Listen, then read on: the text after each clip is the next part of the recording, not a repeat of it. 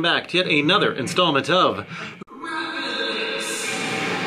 Alright guys, so today we're going to be taking a look at Eddie Van Halen style mix picking. Those of you the keen eye probably already know what I'm talking about. We're talking about, of course, the old school Eddie Van Halen style phrase where you play legato on the first string you play, and then when you get to the second string, you switch over and you start doing alternate picking starting on upstrokes. Now, Ed pioneered this kind of phrasing, of course, years and years ago, probably in the 70s. I read him in a magazine article interview with him years ago that he said that he always thought he was a, a sloppy uh, picker, which is why he used this kind of mix picking which I think is kind of crazy because for me personally, doing this is actually harder than just picking everything. But again, that's Eddie Van Halen, and as we all know, the man was not of this earth when it came to his playing.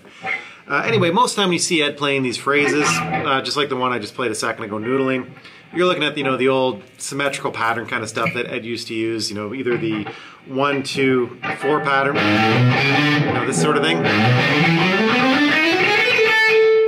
the uh, more stretched out one, you know, the uh, the one three five kind of finger,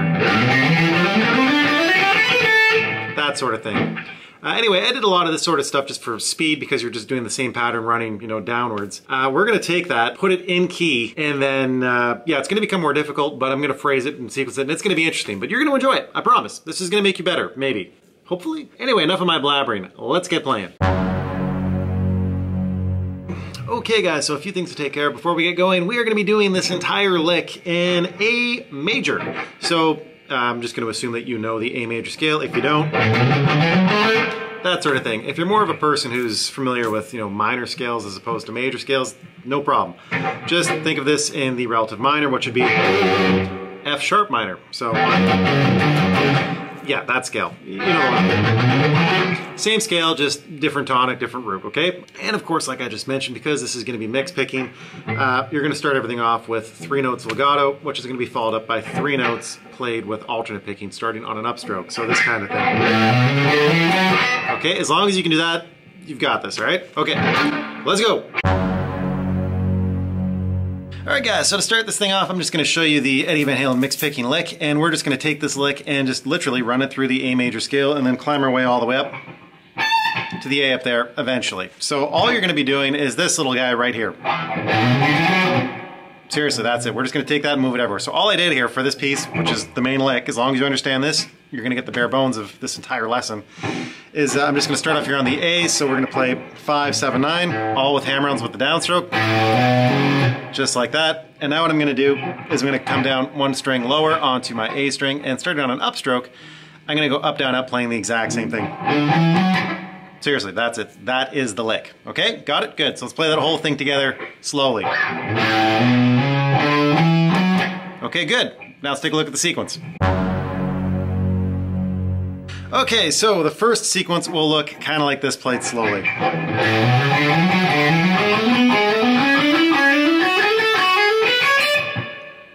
Okay? Alright guys, so all I'm doing here is just play the first lick that you learned back in the lick section.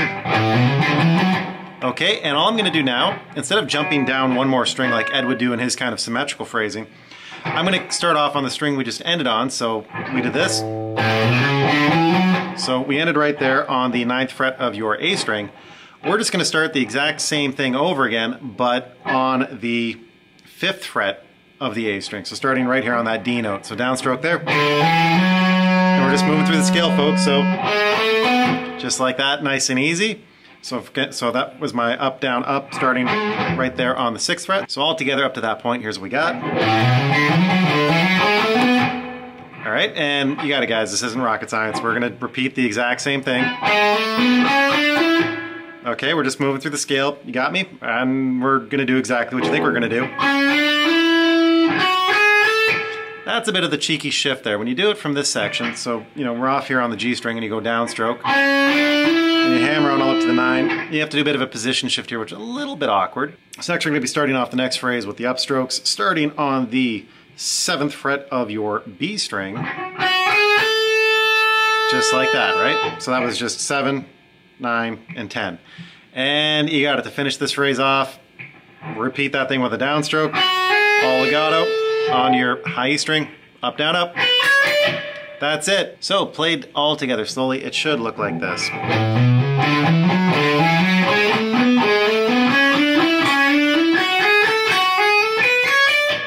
Good. All right guys, so now we're into the second phrase. And the second phrase is just a continuation on how we ended the first phrase. We ended like this, right? Now we're gonna do is we're gonna keep moving through the scale pattern, but we're gonna just be moving up by each scale degree on your B string. So we've got this. Now all I want you to do is move up one, and we're gonna repeat the exact same thing. So now we're just starting this off on the ninth fret of your B string. Just like that. And you got it. We're gonna move up one more and play the same thing again. This time we're now starting on the 10th. Okay, now once you get to that point, so you've done three up, right? So we've got that sort of thing. What I want you to do is go back one and then go up three. And that's gonna be the whole pattern. Okay, so we got this so far. Now we're gonna go back one. Keep going up. Keep going up, because we gotta go up three. This one's a bit awkward. The fingering I find on this one is strange. Uh, experiment here to see what works for you. Uh, I'm playing this one starting off on the 12th here with my downstroke. I'm gonna go 12, 14, 15. And then for my upstrokes, up on the 12, down on the 14. And I'm using my pinky here to grab the, uh, the 16th fret. But you might want to use your, your ring finger. Again, experiment, see what works for you. All right, so up until that point, here's what we've got.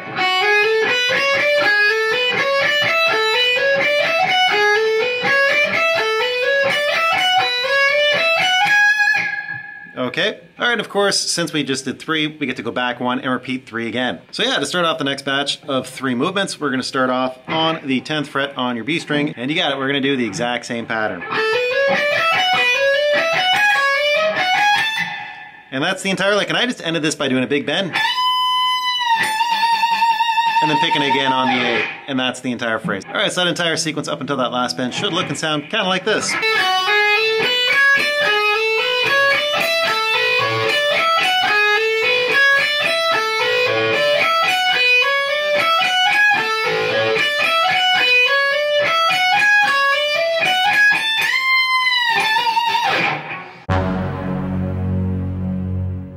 Let's play that entire sequence together slowly.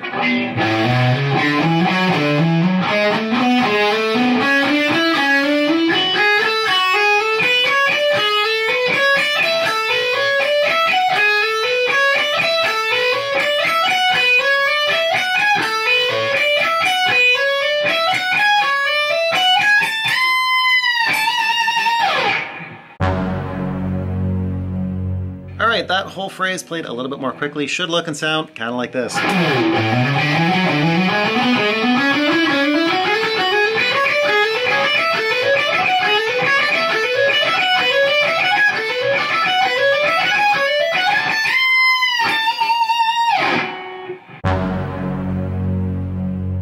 All right, maximum effort.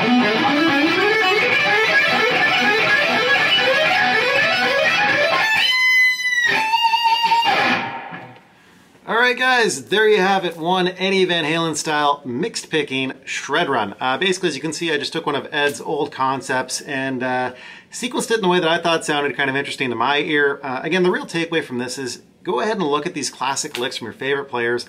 Look at the way that they're built and structured and then take them, repurpose them, build your own licks with them. That's really the fun of this. So yeah, go ahead, take this one, see what kind of cool runs you can come up with. Uh, if you like the sound of this one, there's another cool one I recommend you check out. I did a rapid lick on this like two years ago or something. Uh, George Lynch also uses this kind of phrasing, but he does it the opposite way that Eddie Van Halen does. So Eddie does, you know, the down pick kind of, and then up pick thing, whereas George will do the picking first, and then the legato, and he'll sequence it that way. Again, really cool, uh, really cool run, really cool phrasing, very similar vein, but uh, yeah, neat stuff. Anyway, I'll leave a card around here somewhere so you guys can check that out if you care. Anyway, hope you guys found this useful. Hope you learned something. Uh, if you did learn anything or did find this useful anyway, please make sure you hit that like and subscribe button, help this channel grow a little bit. And as per usual, guys, just keep on shredding, and we will talk to you in the next video. Bye for now.